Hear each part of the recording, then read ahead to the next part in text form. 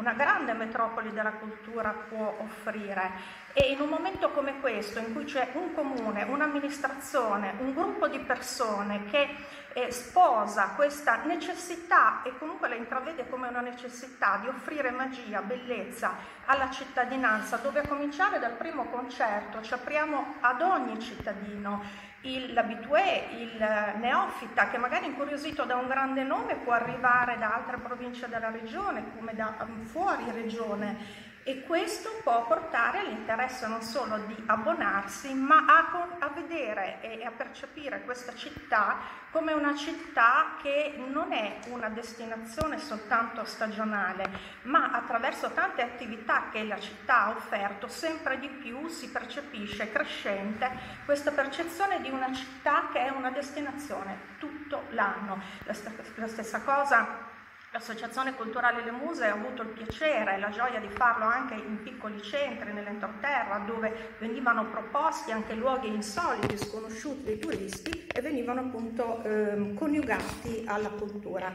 Quindi direi di lasciare la parola al direttore artistico di Senigallia Concerti, al eh, direttore artistico dell'Associazione Culturale Le Muse e lo lascio con questo auspicio, questa è la nostra speranza, che tutto questo, tutto questo sforzo, questo grande impegno espresso da tutto il team possa declinarsi in una graduale, nascente tradizione di grande musica per la città di Senigallia da identificarsi completamente e totalmente con questa splendida città. Grazie. Bene, allora mm, Prendo spunto da quello che ha detto Antonella Cecere per um, dire che comunque questo rapporto anche dell'associazione con il comune in questo caso sono due soggetti che compartecipano, quindi non è solo il comune che eroga un contributo, ma anche l'associazione stessa che mette a disposizione le proprie risorse per portare a Senigallia questo progetto. E un primo riconoscimento importante è stato che proprio questo progetto è stato accolto dal Ministero della Cultura e quindi è accreditato dal Ministero della Cultura. È un, è un titolo, è un riconoscimento che viene dato pochissime realtà, creare una fidelizzazione intorno a un progetto culturale, quindi non sono eh, manifestazioni spot, eh, ma un preciso percorso a proporre e, e, e voglio dire quest'anno eh, si attua attraverso sei concerti, ma poi ehm, anche perché siamo un po' in corsa e quindi l'organizzazione per adesso si è concentrata su, diciamo, su questo l'aspetto della programmazione, ma eh, sono eh, previste per il futuro una eh, interazione anche con tutto il mondo, eh, con la scuola e poi anche attraverso appuntamenti di presentazione, quindi incontri proprio specifici, anche informali presso le biblioteche, insomma verranno individuate delle location dove insomma parlare di musica, eh? come si va al bar per parlare, non vado al bar, ma che, che si, al bar che, di che si parla? Di politica e di calcio essenzialmente. No?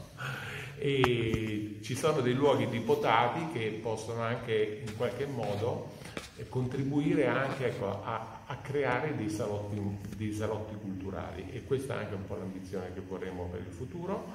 E, mh, brevemente, perché poi nel comunicato c'è scritto tutto, vi dico che si inizia il 27 di novembre con Paolo Fresu, un progetto molto molto originale e sarà una prima regionale, back to back, quindi una sorta di mh, crossover tra il jazz e la musica classica, in particolare quella barocca, perché come dice, stesso, eh, dice Paolo Fresu stesso, ci sono molte, molte analogie sul discorso del jazz e della musica barocca, perché la musica barocca era fortemente legata all'atteggiamento dell'improvvisazione. E sei appuntamenti, ci terrei a parlare del secondo appuntamento perché sarà un ingresso, un appuntamento a ingresso libero ovviamente perché lo faremo in Duomo e è un concerto che si intitola Bagliori di Pace, quindi un concerto dedicato alla pace. E io ho eseguito anni fa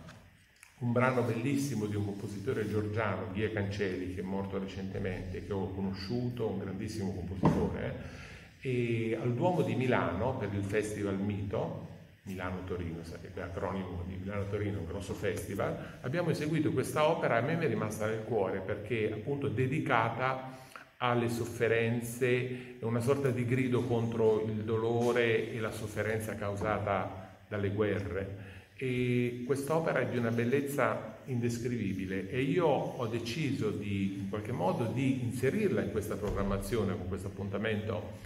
a, al Duomo, e creando una coproduzione. La faremo verranno fatte due rappresentazioni, di cui una a Senigallia e una alla Santa Casa di Loreto, proprio all'interno della, della Basilica di Loreto. E poi avremo per Natale un concerto gospel proprio il giorno di Natale, perché crediamo che nel pomeriggio di Natale il pubblico, dopo aver fatto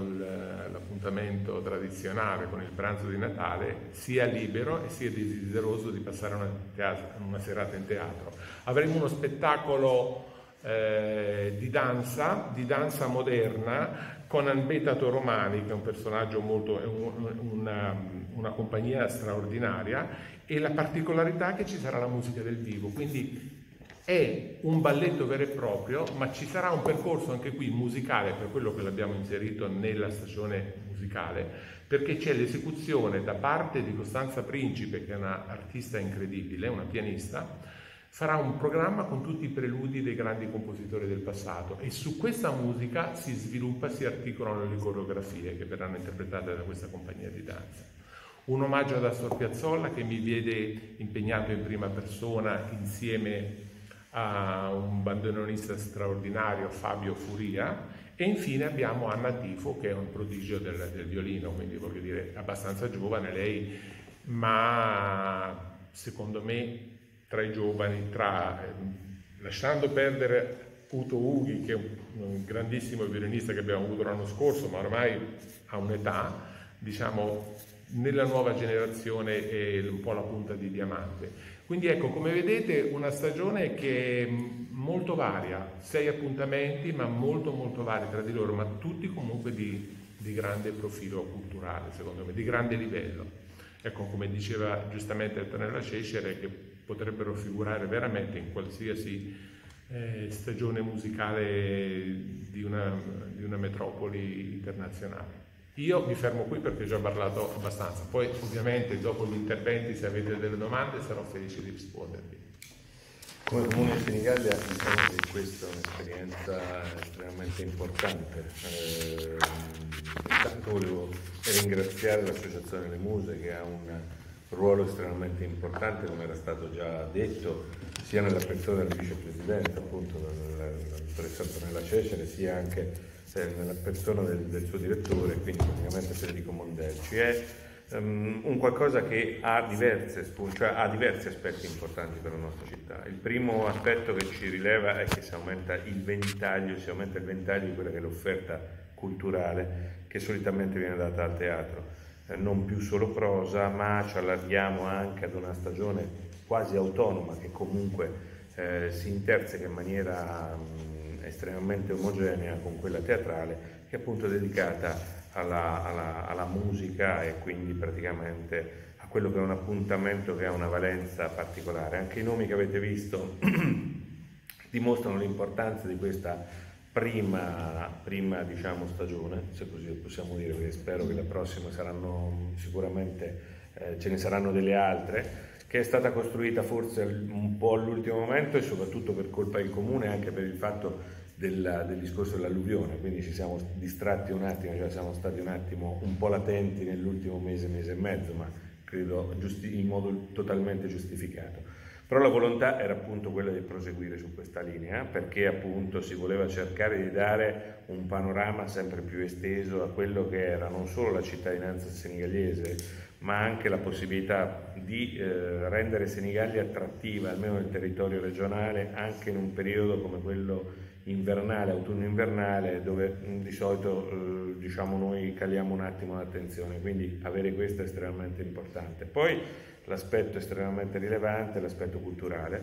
perché eh, diciamo che Senigallia ha necessità di avere anche una stagione musicale degna di questo nome e eh, che ci possa permettere adesso di entrare in questo mondo, ma di poter poi ambire nel corso degli anni sempre una maggiore rilevanza, eh, non dico competendo con le maggiori città regionali della regione che si, si, dedicano a questo, ma per rendere appunto una stagione veramente interessante anche sotto questo aspetto. Da ultimo l'aspetto sinergico, perché questo non è mai secondario, perché non è facile trovare delle associazioni con cui collaborare come abbiamo avuto noi la fortuna come città di Senigallia di poter avere appunto questo aspetto sinergico che ci ha consentito, come è stato detto eh, da chi mi ha preceduto, anche di poter avere dei finanziamenti, quindi l'attenzione da parte del, del, del, Ministero e quindi di avere anche una realtà che è totalmente innovativa. Quindi per quanto ci riguarda eh, noi speriamo che questo sia l'inizio di un, di un solco che va, andrà sempre più allargandosi nel corso degli anni. Sì, eh, buongiorno, io ringrazio il maestro Mondelci e il vicepresidente, la dottoressa Cecere dell'Associazione delle Muse per aver eh, collaborato o partecipato appunto insieme al Comune alla realizzazione, all'offerta di questa prima stagione concertistica che va nel, in quella direzione che il Comune eh, intende portare avanti di offrire sempre maggiori opportunità di di, di crescita alla cittadinanza, ma regionali e anche a chi viene da fuori regione, perché eh, quest'anno per esempio con, assieme alla stagione teatrale eh, abbiamo come amministrazione eh, voluto aggiungere anche una prima stagione di danza. Questi sei appuntamenti sono sei appuntamenti tutti di rilievo nel merito, il maestro li ha descritti e nulla posso aggiungere se non um, la collaborazione con la diocesi l'ospitalità della, in occasione della prima domenica d'avvento per appunto la, il concerto per uh, il Bagliore di Pace, per la pace, che è un periodo di cui abbiamo bisogno a Iosa. Uh, la sinergia è un aspetto che, come giustamente sottolineato da Aziende, è fondamentale perché consente di poter arrivare a risultati che magari singolarmente il comune o l'associazione non avrebbero potuto raggiungere e apri scenari che chiaramente sono, nessuno di noi li conosce possono essere esplorati per garantire, eh, offrire una seconda, terza e così via stagione a, a chi vorrà partecipare. Tenete conto che Senigallia come mm, terreno, tra virgolette, risponde sempre molto bene all'offerta, alle proposte culturali. Abbiamo visto il teatro moltissime volte, come anche poc'anzi ricordato il maestro, sempre pieno, quindi è un, ed è un nell'ambito di una regione che è quella per, che si è anche candidata per, per ricevere il riconoscimento dell'UNESCO, il Teatro La Fenice con il suo palco, con la sua disposizione si presta molto bene a, appunto, a offrire queste occasioni. Quindi un grazie di nuovo alla società.